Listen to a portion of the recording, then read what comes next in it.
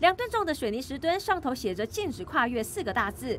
这里是八堵分驻所。二月二十九号晚上发生冲撞事件后，紧急用吊车吊挂水泥石墩放在分驻所门口，希望让同仁安心上班。全面检视各驻地安全，那将朝装设两根摸字形高强度钢管之方向，尽速装置安全阻隔设施。另一头还有一个整修中的派出所，市长谢国良下令要加装防撞设施。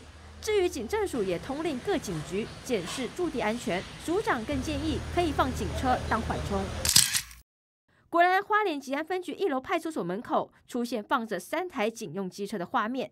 镜头转到高雄，也看到类似做法。位在高雄市区这间派出所，同样将警车停放在门口，而且轮胎还要往左打作为缓冲。就在各警局忙着加装防护的同时，网络上却有人爆料。疑似某分局长下令，在群主通知，要求远警值班勿用手机看剧、打手游情形，还提醒大家值班台影像都有连线勤务中心，督察组会纳入监看。不止发文者大酸长官不检讨制度，只会检讨基层，真的好窝心，也引爆了基层的怒火。有人留言反问：殉职的学弟有划手机吗？还说他也有往门口注视，但意外就是发生了，非得出了人命，上面还在想方法。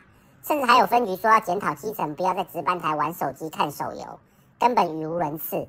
看在基层眼中，这些当长官的也没真正在替基层员警着想，他们心里想的只是如何赶快升官，令人心寒。上级命令一来，全台警局积极展现应变作为，目的为何？警界最清楚。民事新闻综合报道。